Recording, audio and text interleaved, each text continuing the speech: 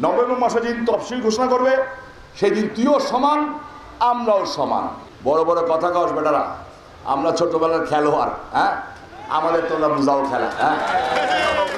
আমরা ঢাকায় যে, নারায়ণগঞ্জ ছেড়ে ঢাকায় যে, তোমাদের সাথে আমরা একটু খেলব।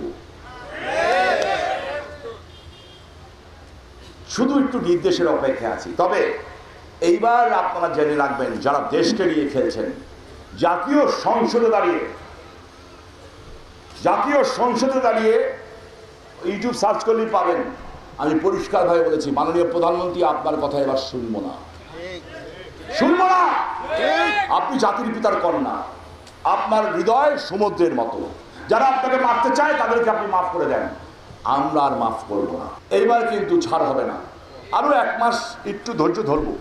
নভেম্বর মাসে যেদিন তফসিল ঘোষণা করবে সেই দিন তুইও সমান, আমরাও সমান। তুইও সরকার না, আমিও সরকার না। সেই দিন যদি ক্ষমতা থাকে নারায়ণগঞ্জে মাটিতে আসিস, দরকার হইলে কইস, বাংলাদেশের যেখানে যাবে সেখানে যাব এবং ওই খেলা খেলব। আমরা খেলব স্বাধীনতার পক্ষের শক্তি স্বাধীনতার বিপক্ষের শক্তির বিরুদ্ধে। আমরা খেলব অসাম্প্রদায়িক শক্তি, সাম্প্রদায়িক শক্তির বিরুদ্ধে। আমরা খেলব মুক্তিযুদ্ধের পক্ষে, মুক্তিযুদ্ধের বিপক্ষের শক্তির পক্ষে, এবং জিতবো আমরা ইনশাল্লাহ